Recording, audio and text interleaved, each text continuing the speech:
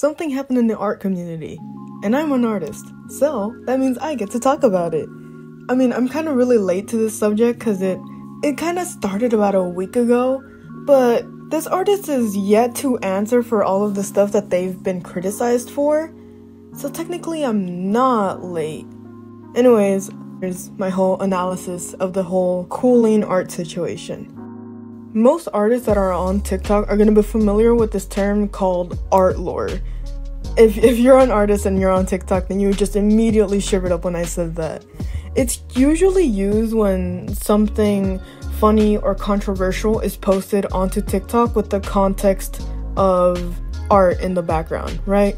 Usually, when you see these kinds of situations, the way that the art community responds is by redrawing that in their own style in a very exaggerated and mocking way to show their point, which is like, hey, you're kind of doing something messed up and it's really funny to point and laugh at you. That's usually what the whole art lore thing revolves around.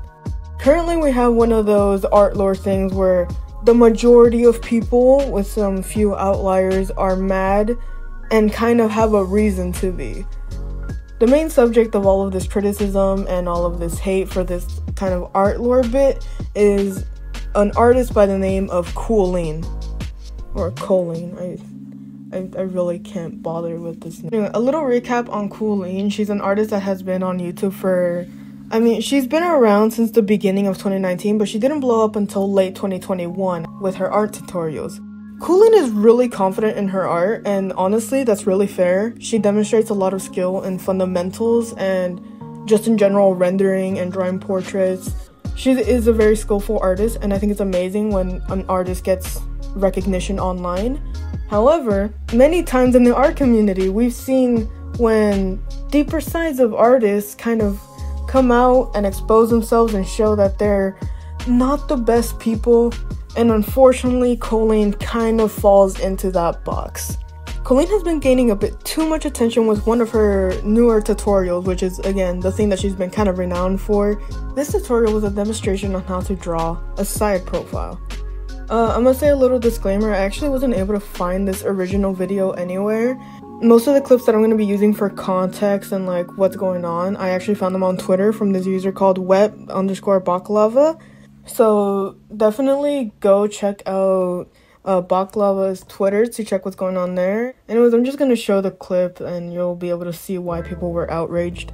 The reason why we're making this line is that we have to make sure that everything below the nose doesn't exceed this line. So the lips and the chin shouldn't exceed this line, no matter how juicy and big his lips are. Anyways, I don't think it takes like a genius to understand why this upset people. But if you need extra help, I can give it to you. I mean, number one, the right head, and by right, I don't mean the one on the right, I mean the one that's labeled right and correct, is it has anatomy that a lot of people have explained is not the best. The one on the right, the one that's labeled as incorrect, which many people have expressed has many attributes and features that are correlated with people of color, more specifically black and indigenous people. That one has been labeled as gorilla. So at what point is it just idiocy that causes someone to say this, right? The reference here, I believe, is that this person looks like they have an underbite, or it might be an overbite, but I'm pretty sure it's an underbite, which, you know, is pretty synonymous with gorilla faces, I believe. I think that's what she was trying to get at. It's just a really bad look, to be honest. I think the worst part about this is where Kooleen could have just passed this off as a lapse in judgment where she did one thing wrong by accident by saying something that she shouldn't have. We've seen little little dots of casual racism dropped in her art before. As I mentioned before, Coolene is known for all of her art tutorials and stuff like that, but she also does roasting slash fixing her fans' art. Basically, they'll send her their art and then she will draw over it and correct it to be the way that she thinks would look better. This is actually an art method and critique that I really like to see. Artists taking their fans' work with permission, of course, and showing the mistakes that they see and explaining how they can improve is really useful. It really helps you to see like the correct version and the wrong version to improve in art. But the whole issue with her doing the fixing art stuff is that we have at least two examples of Colleen taking the opportunity to fix the art to just make fun of or remove attributes that are correlated with black people mostly.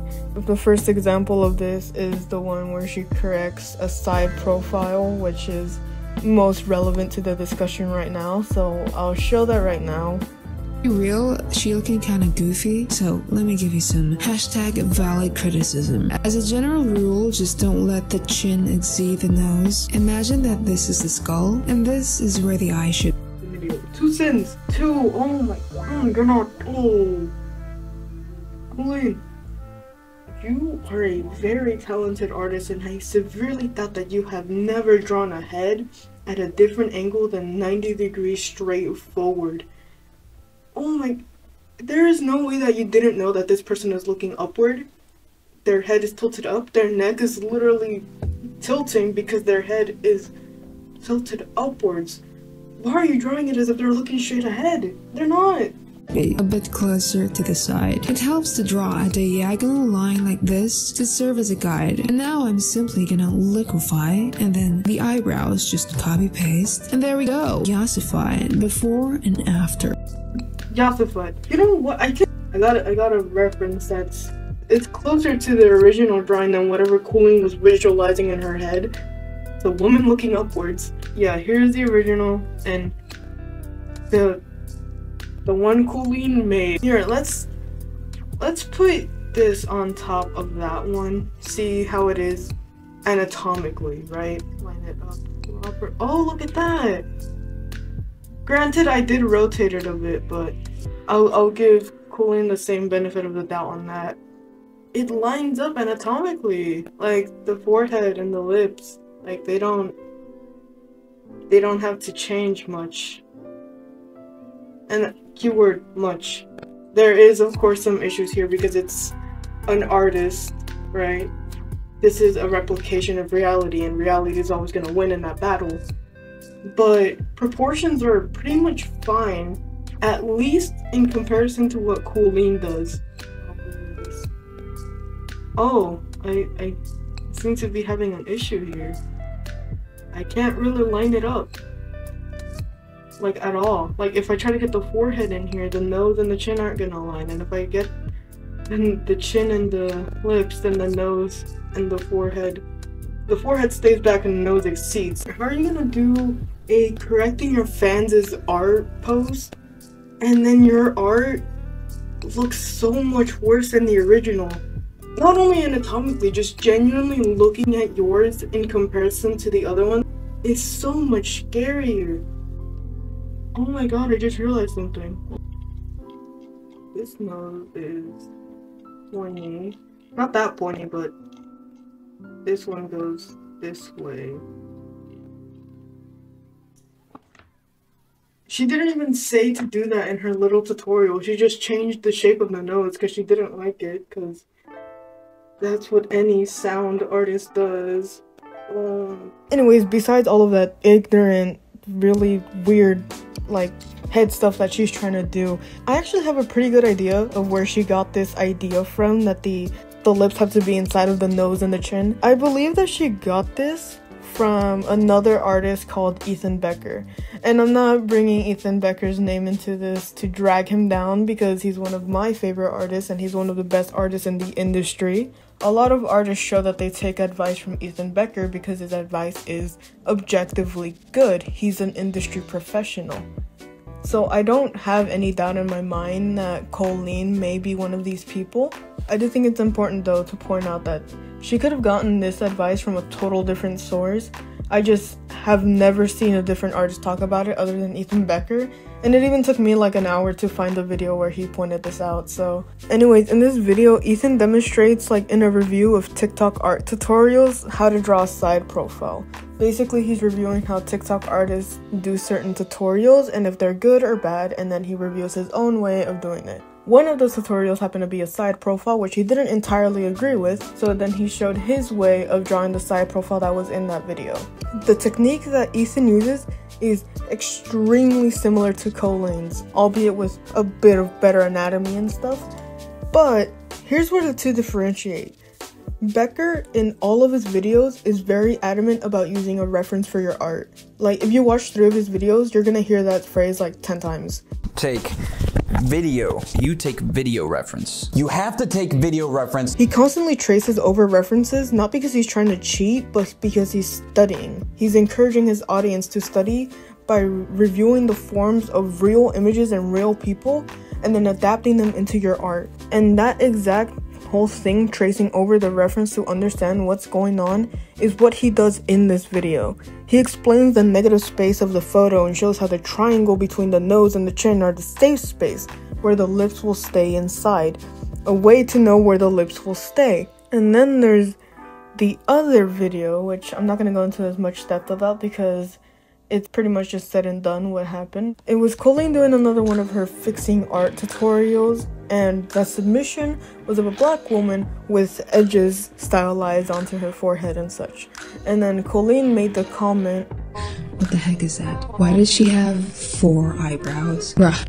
Which is gross. It takes a single Google search to learn what it is, and then just another to realize why they're important. If you don't want to do it, I'll do it for you. Basically, it's to show the texture of black hair with pride. So, you know, no shame in the baby hairs and their texture. That's what that's for. But to Colleen, it's just a fourth set of eyebrows. So, She's also shown kind of like low-key colorism when she did one of those little random OC picker things. If you don't know what those are, it's like a trend where they'll have a video with a bunch of different options for an original character to be made.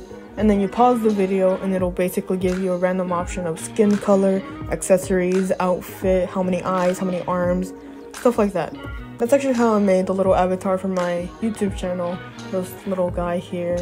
That's how I made mine. And Colleen decided that she wanted to play around with this trend and make her own. Colleen gets a color, a skin color, that seems to not be her favorite. And even though it's obviously like, you know, black in terms of skin tone, she called it tan, which is a bit of a red flag, but I guess can be dismissed. But then when she goes to draw this character, she doesn't color pick from the video where she got that color from. She instead gets her own color, which, when we compare the two, is way lighter than the original color she got. Again, this isn't just, you know, lightening or muting colors for color scheme. This is just actually lightening a person because you don't like their skin color, which is kind of taboo. Actually, not even kind of, it just actually is. Something I genuinely think Colleen doesn't understand is that rules have exceptions and that includes hers. Artists have constantly thrown out these arbitrary rules that you have to follow, like a person is usually eight heads tall, or the size between the eyes is going to be the size of an eye. Which, yeah, those are good fundamentals and rules that we can follow, but when you look out in the real world, it's usually not the same for everybody. Not everyone is eight heads tall, and their proportions won't match it either. Some people are really short, some people are really tall. Some people have hooked noses, and some people have really skinny noses or button noses. Some people have angled eyes, or they don't. Some people have really thin lips, some people have really big lips. The rules that we learn when starting out in art are based on an average, and they're just meant to start you out before you then are allowed to break them to include more diversity in your art. Colleen could have easily avoided all of this if she didn't claim that the wrong one, which wasn't even wrong, was reminiscent of a gorilla. Especially when that version was so much closer to people of color than the one that she deemed correct. To better demonstrate the whole breaking rules for the sake of diversity, I wanted to bring an artist that does it really well. This artist is called Loish, which I'm sure many artists already are familiar with. When you look up her art in contrast to Colleen's, you're gonna notice an immediate difference. First of all, Colleen has no diversity in her art, and I don't mean that in terms of race or size or shape or anything. I mean legitimately, all of her art is the same thing. It's the same portrait at the same angle, looking in the same direction with the same hairstyle, same eyes, same everything. And it just gets boring to look at after a while. But if you look up Loish's art, you're immediately struck with all of this diversity. And again, not just in skin color and size and race. In every way possible, Loish implements diversity into her art. The colors, the contents of her art, the messages that she's delivering, the things that she's doing. But it is more relevant if we talk about the diversity in race because that's what's pretty much started this entire controversy. When you look at Loish's art, she does follow the rules set by Becker, the whole keep the lips inside of the nose and chin. She follows it pretty well when she's drawing white characters because that's who that rule was pretty much made for white people. Here, when we scroll down, we see a black woman whose lips reach beyond her nose and chin, and the anatomy doesn't look wrong at all. Not to. Wait, there's something else here.